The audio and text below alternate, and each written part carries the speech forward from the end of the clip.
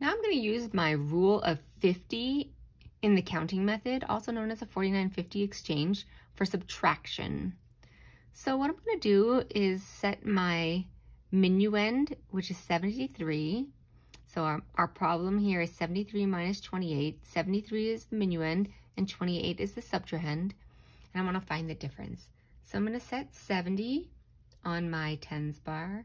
One, two, three, four, five, six, seven. And I want to set three on my units bar. One, two, three.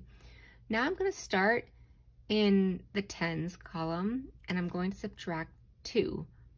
So I push one, two away from the counting bar. I don't have to do any exchanges yet on there.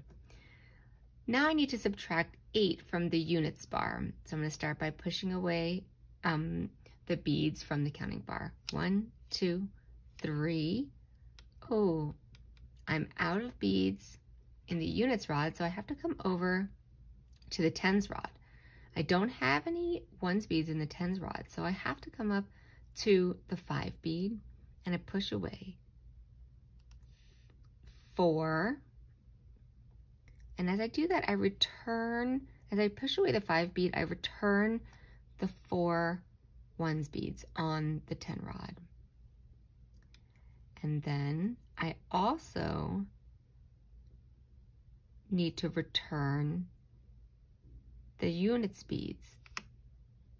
And then I push them away as I as I count again. Five, six, seven, eight. And I get my answer, which is 45.